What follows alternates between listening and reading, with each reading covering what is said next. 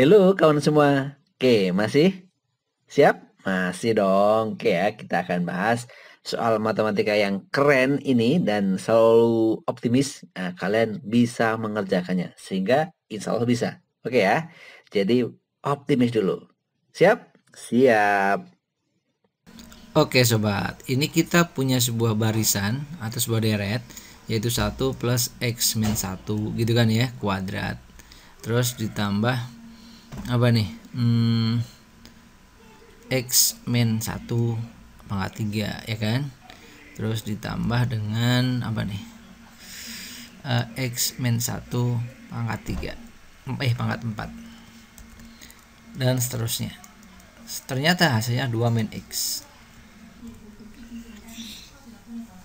Oke, cuman ini hati-hati.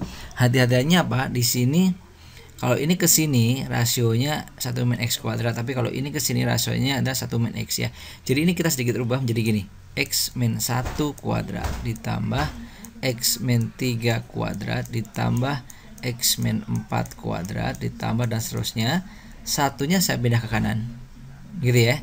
Jadi tinggal 1 min x ternyata ini nanti kalau dijumlahin semua 1 min X ah ini A nya adalah X min 1 dan rasionya adalah juga X min 1 nah seperti itu. Jumlah seluruhnya 1 min X. Nah ini kita bisa gunakan deret tak hingga ya kan ya? S tak hingga itu adalah rumusnya A dibagi 1 min R. Nah S tak hingganya itu 1 min X jumlahnya. Ini A. A nya itu mana? A nya adalah X min 1 kuadrat. Nah dibagi 1 min R rasionya adalah X min 1 nah seperti itu. Gitu ya. Sip sip sip sip sip sip. Kalau kita kalikan berarti bisa nih. Ini kalau kita 1 min X gitu kan ya. Yang ini jadi kalau dikuadratin X kuadrat min 2X plus 1 ini sama aja dengan apa nih? 1 min X ini 1 plus 1 jadi 2 berarti sama aja X plus 2 eh salah min X plus 2 gitu ya. Sip. Uh, kita kalikan silang aja deh. Min X kali 1 min X min X kali min X X kuadrat 2 kali 1 2 2 kali min X min 2X Oke ya ini jadi kalau dikalikan silang hasilnya gini nih. Tinggal kita sederhanain aja nih. X kuadratnya habis ya kan? Min 2x nya juga habis ya kan ya. Kalikan silang jadi yang ini ya ini yang sebelah kanannya. Tinggal ini min x min x sama dengan ini geser ke sana jadi min 1 atau nilai x nya sama dengan 1 selesai. Nilai x nya 1 ternyata saudara-saudara. Ada nggak? Ada ini D. Ya kan ya? Oke, paham ya? So easy. Sip, semangat. Sampai jumpa di kamus impian kalian sobat hebat.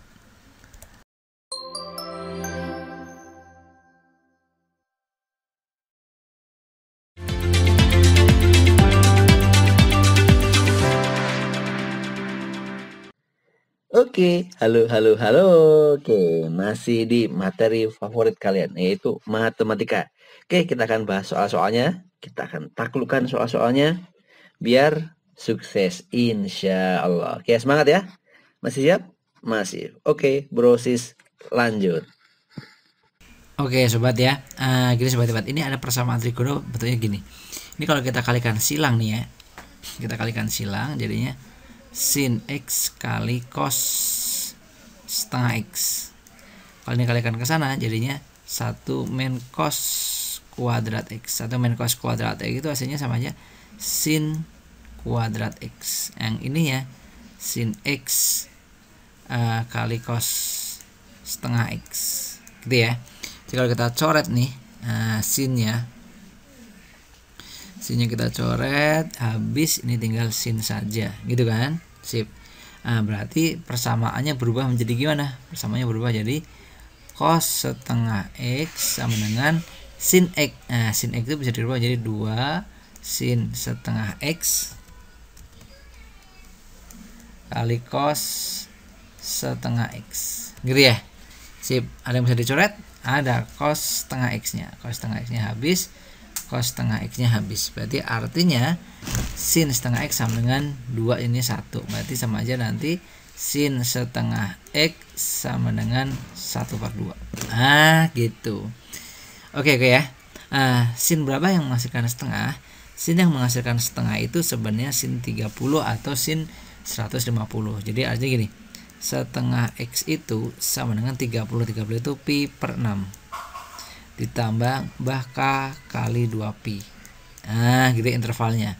Atau nanti berlaku uh, setengah X itu sama dengan 180 kurangi 30 ya 180 kurangi 30 atau gimana? Pi uh, 180 itu pi ya.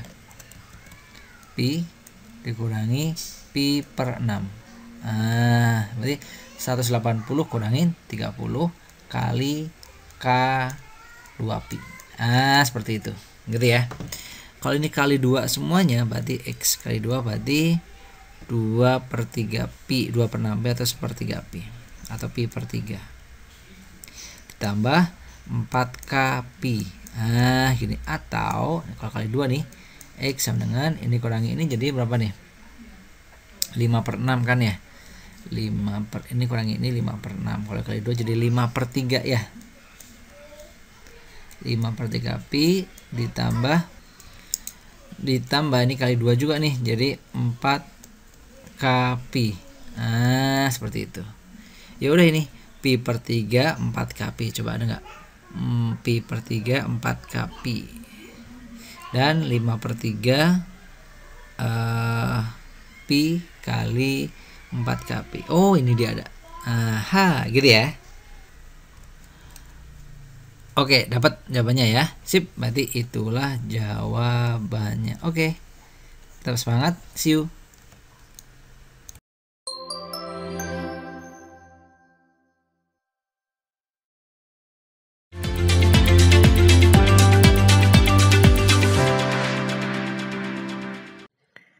Oke, sobat, kawan, guys, bro, si semuanya gitu ya. Kita masih di matematika, materi favorit kalian. Oke. Jangan pesimis, pokoknya kalau ketemu matematika hadapi dan kita taklukkan. Oke? Oke, kalian bisa menaklukkan matematika, insya Allah bisa naklukin soal yang lain. Insya Allah, gitu ya. Oke, maju terus. Siap? Siap. Oke, kita bahas soal berikut ini. Oke. Sobat, nah ini gimana nih ya? Oke. Oke sobat, uh, ini kita punya limit seperti ini. Uh, caranya gimana sih? Saya sobat debat masih ingat ya. Ini caranya banyak cara. Salah satunya kita turunin aja nih. Kita turunin. Turunannya 5x apa? 5 ya kan? Terus turunnya tangan apa? Sekan kuadrat. Nah, berarti sekan kuadrat 5x nah ada 5x nya kalikan 5 gitu ya. Dibagi turunannya dari uh, x pangkat 3 jadi 3x kuadrat. Nah gitu. Coba kita masukin. Masukin x nya kan 0 tuh.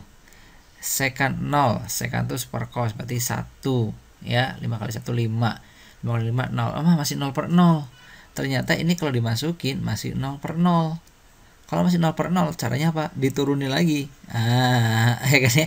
Diturunin satu dan kedua turunnya 5 0 nih 5 nya saya tulis dulu nih. 5 yang ini saya tulis dulu ya turunnya sekan kuadrat. Turunnya kuadratnya dulu yaitu 2 sekan. Ah 2 sekan 5x belum selesai. Ah sekarang turunannya sekan. Ah turunnya sekan apa turunnya sekan sekan tangan berarti nanti sekan x eh sekan 5x maaf. Sekan 5x kali tangan 5x udah selesai belum? Belum ya. Eh sebentar saya geser dulu nggak cukup tempatnya. Ah seperti ini. Terus dikalikan lagi tadi gini loh. Ah turunannya pangkat 2 jadi ini ya kan? Terus turunnya sekan ini sekan tangan sekan kali tangan terus dikali lagi turunannya 5x itu 5 ah gitu dibagi bawahnya 6x ah ini saya sederhanakan dulu Oke ya, saya sederhanakan dulu seperti ini, terus per nah, 6x-nya saya taruh sini. Sip. Ah, kurang begitu ya. Berarti yang ini hasilnya min 50. Saya masuk ini nolnya.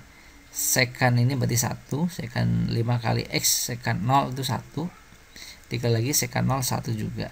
Ah, yang ini ini tuh sesuai teoremanya ya nah ini tangannya bisa dicoret tinggal 5x per 6x yaitu 5 per 6 ah gitu 5 per 6 oke berarti jawabannya lah min 250 per 6 atau min 125 per 3 ah gitu ada nggak kira-kira ada cakep dah oke cakep oke ya ngerti ya sip kurang lebih gitu tetap semangat biar bisa makan-makan, jalan-jalan dan lulus ujian ya. Oke. See you. Sampai jumpa di kampus impian.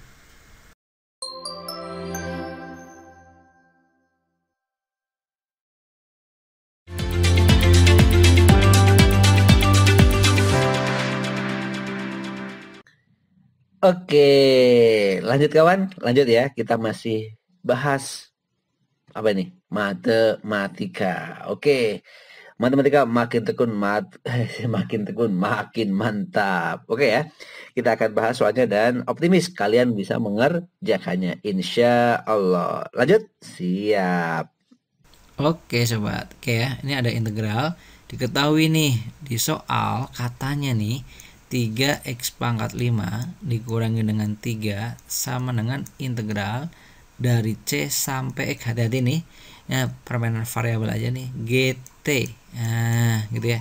DT ah seperti itu. Integralnya ini hasilnya ini katanya gitu ya. Integralnya ini hasilnya ini. Oke ya jadi artinya ada di sini ada x nih ada x. Seandainya ini x nya saya ganti dengan c ini ganti c juga nih misalnya gitu ya.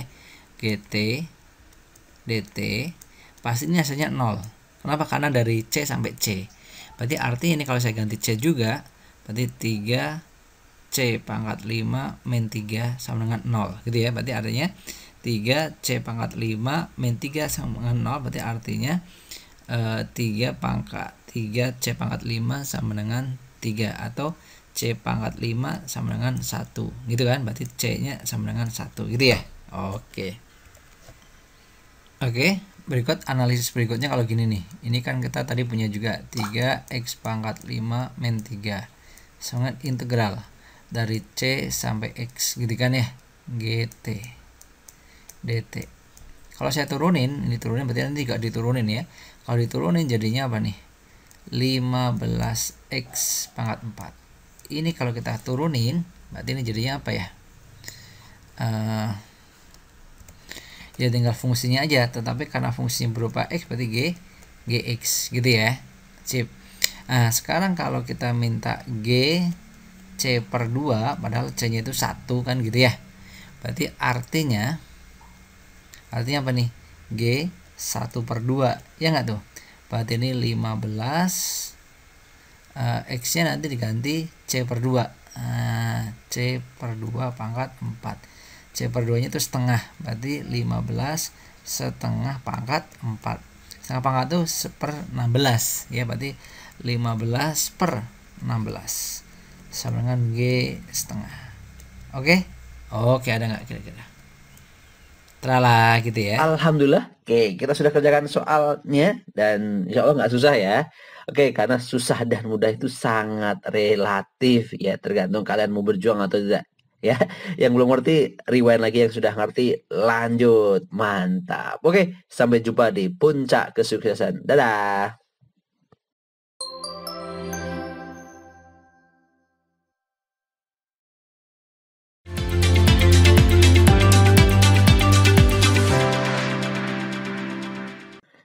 Oke, okay, bro, sis, guys. Oke, okay, apa aja deh ya. Oke, okay, masih siap? Masih, oke ya. Kalau siap kita akan bahas soal matematika berikut ini. Tentunya ini pasti soal favorit kalian. Oke, lanjut. Oke sobat, ya udah dibaca ya soalnya sobat hebat ya. Oke, sudah dibaca ini ada kubus, terus ada titik apa tadi ya? Titik P di sini.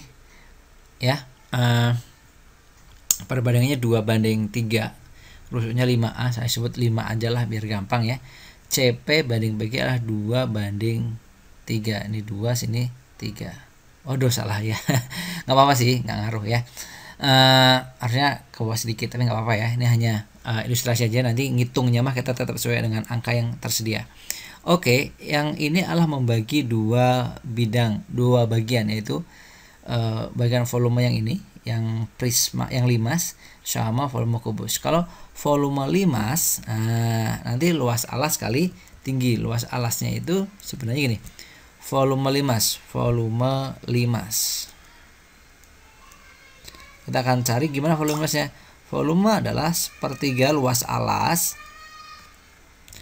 sepertiga luas alas kali tinggi ya sepertiga luas alas eh sepertiga luas alasnya berupa apa nih? Berupa segitiga.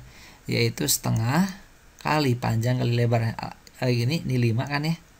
Lima sana juga lima. Setengah kali lima kali lima. Kali tingginya nanti. Ini kan luas alasnya. Kali tingginya. Tingginya mana nih? Dua. Ah gitu ya. Berarti berapa nih kalau kita hitung nih? 5 eh, kali 5 25 kali 2 50 ya kan bawahnya 6 berarti 50 per 6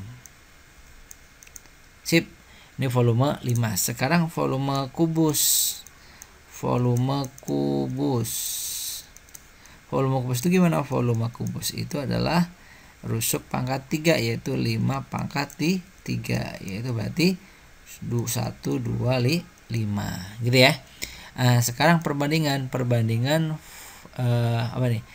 Dengan oke. Okay. Nah, yang akan dijawab volume sisanya. Uh, volume sisa. Volume sisa itu maksudnya gini loh. Uh, kan tadi sudah dipakai 5 nih. Eh, ya kan? Sisanya itu berapa? Karena nanti akan ditanyakan ah volume 5 dengan volume sisanya. Oke, volume sisa berarti 125 dikurangi ini sama aja 25 per 3 nih kurangin 25 per 3 gitu kan ya berarti sama aja eh, 125 itu sama aja berapa nih? 375 per 3 dikurangin 25 per 3 gitu kan ya? Berarti sama dengan berapa ya? 350 per 3 gitu ya? Sip. Nah, kita akan hitung uh, perbandingan volumenya. Berarti volume limas dibanding dengan volume sisa. Ah gitu ya. Volume limasnya 25 per 3 volume sisanya 350 per 3 ah gitu. Tiganya kita coret tiganya coret tiganya coret. Oke 25 sama 3 350 nya kita sederhanakan. Dibagi 25 jadi satu dibagi 25 berapa nih? Hmm, 14 ya. Sip 14 berarti sama aja dengan 1 berbanding 14 oke oke? Oke. 14 ada nggak? Ada. Cakep dah. Oke see you. Semangat ya sobat. Berjuang terus. Sampai jumpa di kampus impian